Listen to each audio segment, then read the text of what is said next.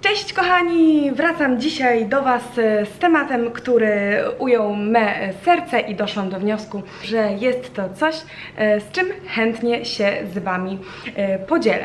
Jakiś czas temu na Snapchacie przygotowywałam sobie posiłek, postanowiłam ugotować coś z niczego. Jedyne co miałam w lodówce to tortilla, jajka, cebula, kabanosy, ketchup i to wszystko. Tyle wystarczyło do tego, aby rozpętać e, niemałą burzę w internecie. Ponieważ niestety trochę mnie poniosło i e, podsmażając cebulę na patelni, sypnęłam sobie za dużo wegety.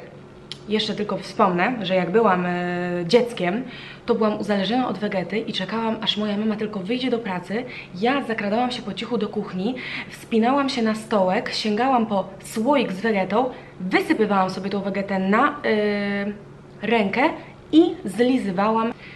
No strasznie byłam dziwna, ale moje zamiłowanie do e, słonych przypraw pozostało mi do dziś. No ale niestety tym razem mnie poniosło i totalnie przesoliłam cebulę. Myślałam, że jak później dodam do niej trzy jajka, to nieco się to wyrówna. Okazało się, że nie do końca. Na ym, podgrzanej patelni położyłam tortillę, na to położyłam tą jajecznicę z cebulą, dwa kawałki y, sera. Zawinęłam to wszystko y, w trójkąt, położyłam na talerzu. Na talerz y, dałam ketchup oraz przystroiłam kabanosami uwieczniając wszystko na Snapchacie, czyli pięknie podane danie według Honoraty Skarbek.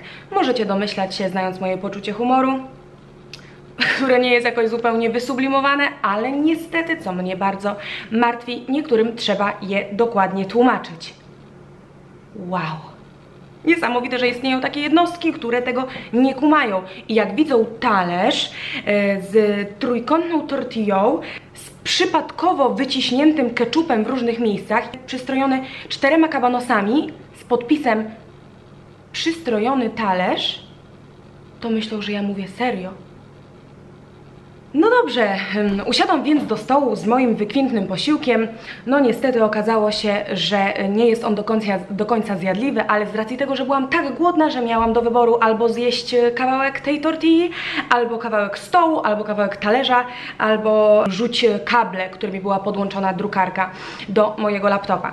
Wybrałam jednak wersję najbezpieczniejszą dla mnie, czyli skonsumowanie tej tortilli. Niestety nie mogłam zjeść jej całej, pomyślałam, że najzwyczajniej na świecie się pożygam, więc zdecydowałam, e, że ostatnie kilka gryzów plus e, kawałki kabanosów wylądują w śmietniku. I ten moment wyrzucania resztek jedzenia do śmieci nagrałam na snapie, ponieważ łączyło się to z moim wcześniejszym przygotowaniem posiłku, który również tam się znalazł. I okazało się, że to był mój błąd. Oto się wszystko rozeszło. Jestem jedyną osobą w Polsce, która odważyła się na wyrzucenie półtora kabanosa, trzech gryzów tortilli i trochę keczupu.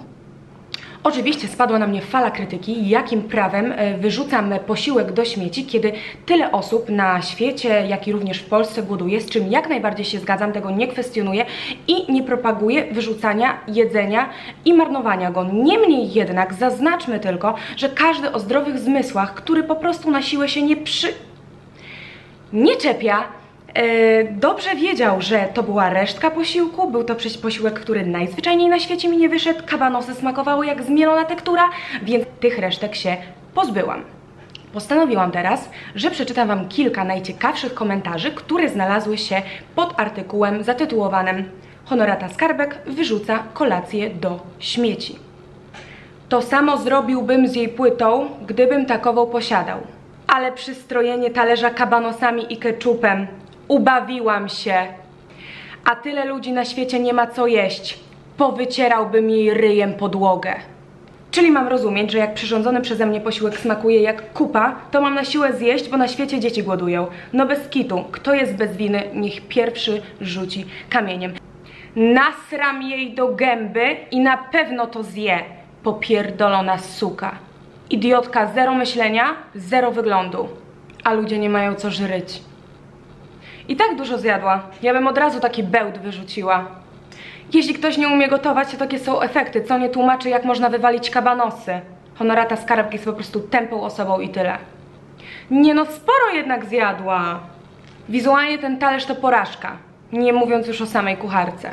Nie dojadła i resztę wyrzuciła. Boże, no szok. Już widzę, jak każdy z Was resztki pakuje w torebkę i wysyła do biednych dzieci. Banda hipokrytów. Jak możesz wyrzucać jedzenie bezmyślna kukło? Durna szmata. Inni nie mają co jeść.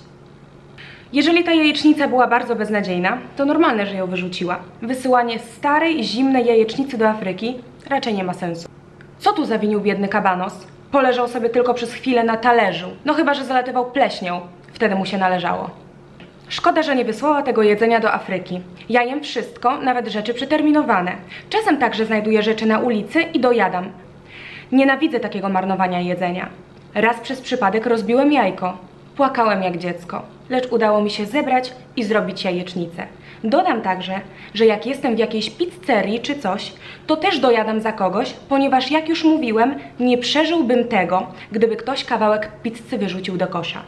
Co za pustogłów pospolity. Tragiczna, sztuczna laska. Wiecie co? Ja robiłam sobie herbatę z cytryną i został mi taki kawałek cytryny.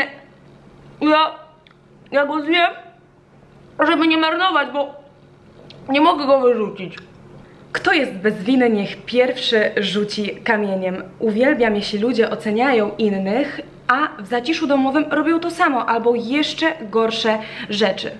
Mi już życzono, słuchajcie, śmierci, wszystkich możliwych chorób i zarzucano mi wszystkie najgorsze czyny świata. Więc wątpię, że zdarzy się jeszcze coś takiego, co zrobi na mnie jakiekolwiek wrażenie. Więc żeby nie zwariować, po prostu się z tego śmieję.